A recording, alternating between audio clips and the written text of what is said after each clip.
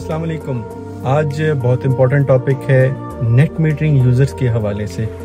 उसमें वेंडर्स भी हैं इंस्टॉलर्स भी हैं और क्लाइंट खुद भी हैं, जिन्होंने सोलर इंस्टॉल किया हुआ कोई दो से तीन साल हो चुके हैं। उनको एक प्रॉब्लम फेस हो रही है आजकल के वो कह रहे हैं हमारे बिल बहुत ज़्यादा आ रहे हैं। तो बिल आने की दो वजूहत हैं जो आप लोगों को बहुत एहतियात से सुननी चाहिए, ताकि उसके ऊपर आप अमल दरामद करें और आपका बिल आना बंद हो जाए। पहली वजह तो ये है कि गवर्नमेंट के अपने कुछ मसाइल हैं, उनकी अपनी मजबूरियाँ हैं, जिसकी वजह से मुल्की हालात आप सबके सामने हैं।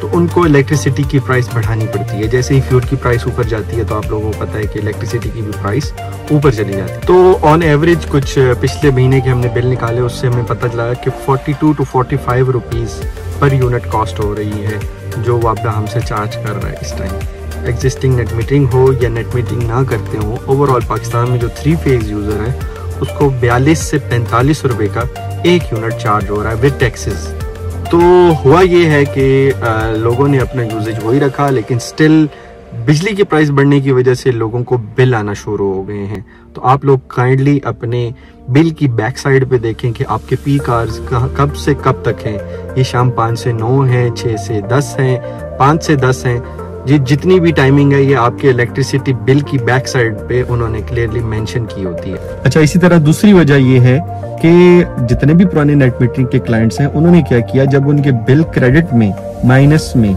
आना शुरू हो गए तो उन्होंने अपने सोलर पैनल्स की जितनी भी मेंटेनेंस थी, उसको खत्म कर दिया कि अब बिल आ नहीं रहे तो हमें पैनल साफ़ करने की ज़रूरत नहीं है। ऑलरेडी हम बड़े कंफर्ट जोन में लेकिन ये आपकी बहुत बड़ी गलती है।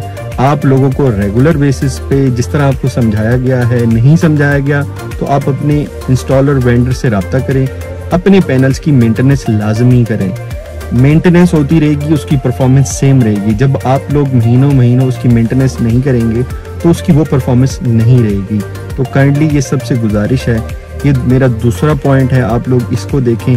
तो नेट मीटरिंग के क्लाइंट जितने भी हैं, उनको ये बात बहुत अच्छे से पता है कि आपके off peak hours off peak hours जो सोलर की एक्सपोर्ट है, उसके साथ तो एडजस्ट हो जाते हैं, लेकिन आपके जो पी कार्स हैं, वो एडजस्ट नहीं होते। पी कार के वो आपको फुल बिल चार्ज करते हैं। आया वो पहले महीने करें, दूसरे महीने करें या तीसरे महीने करें, लेकिन वो आपके एडजस्ट नहीं होते।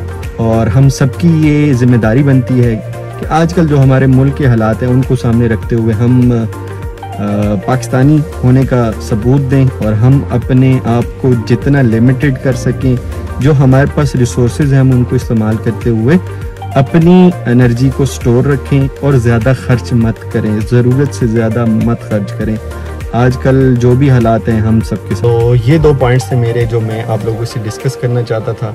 काइंडली इन दोनों पे आप काम करें। इन आपके बिल आना कम हो जाएँगे या बंद हो जाएँगे। दोबारा आप अपनी रूटीन पे चले जाएँगे।